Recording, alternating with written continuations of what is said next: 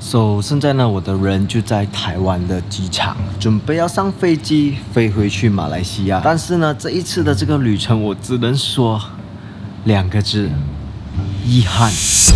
为了要了解“遗憾”这两个字，我必须带你们回到我来到台湾的开始。我逗留的城市是台北，是个现代化的大城市，拥有了本质名地小巷、繁忙的购物街和现代建筑。这时候台湾的天气是非常的闷热，只要一踏出门口，身体就会马上飙汗，让我觉得非常的不舒服，非常的不自在。但是这里的交通都非常的方便，只要有张悠游卡，几乎捷运到哪个角落都不是问题。好几个晚上我都去到西门町寻找晚餐。但是那里的人潮非常的多，就算听过什么再有名、再好吃的食物都不轮到我吃，因为在闷热的天气下，我真的无法有耐心排长队买食物吃。但是台湾的小食选择还是非常多，来到台湾当然不少的夜市，台湾的夜市提供典型的饮食体验，是台湾流行的现代文化。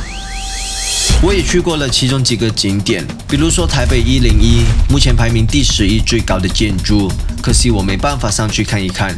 因为我到达的时间已经是太夜了。再来就是去到自由广场。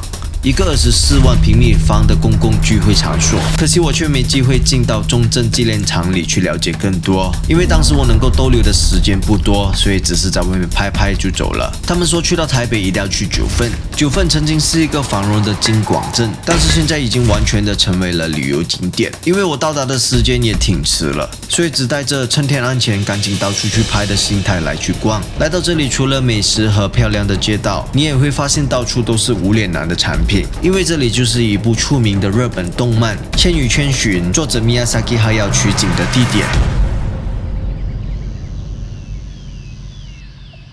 看到这里，你应该都会发现过去的好几个地点，我都是很迟才到达。因为想到闷热的天气，我就不想出门。原本想着反正还有两天的时间让我去拍剩下的东西，但是没想到我在台湾的最后两天。都是在下雨，所以在这个旅程让我学到了一样东西，那就是时间不会停留给你，一旦过去了就无法倒退。也许我应该好好的去安排我的行程，好好的利用我所有的时间，而不是告诉自己反正还有时间，不用着急。那说到时间，我也想趁这时候感谢 Daniel Wellington 赞助了几款手表让我搭配我的服装。在我上个瑞典的行程，我有机会经过他们的店，因为刚好 Daniel Wellington 也是来自瑞典的一家手表公司。那这简单却很优雅的设计真的很好搭衣服。假如你们有兴趣的话，可以去到他们的官方网站看一看。因为在这段时间购买的话，还可以免费得到一个手表带。记得使用我的 discount code Joshua，就能够得到十五八仙的折扣。所以说